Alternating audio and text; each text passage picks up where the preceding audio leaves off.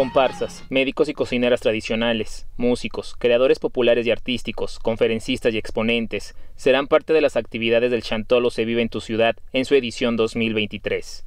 Esas actividades se estarán realizando en diferentes puntos de la zona metropolitana, en coordinación con varios municipios de la Huasteca donde se destaca dicha celebración.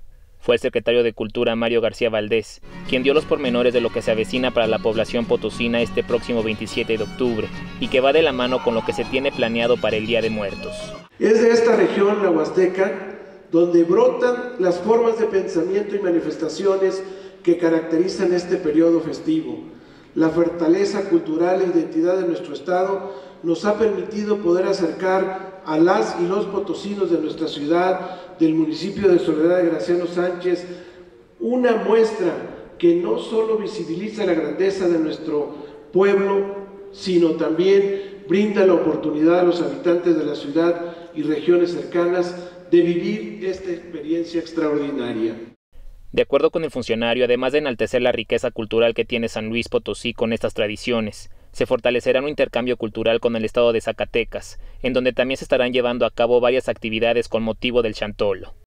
Aquí celebramos año tras año las lágrimas y las risas que dejamos impresas en la arcilla de este planeta.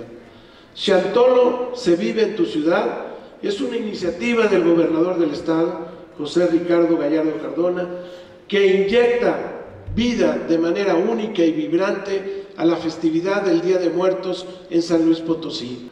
Este fenómeno no solo preserva nuestras creencias, sino que también se convierte en un espacio propicio para el encuentro de las culturas.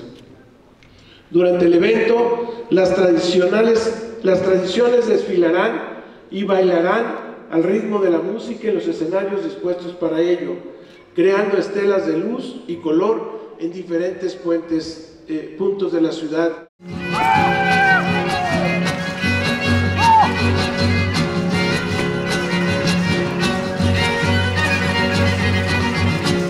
Con edición de Salvador Covarrubias, José Luis Vázquez, Noticieros Canal 7.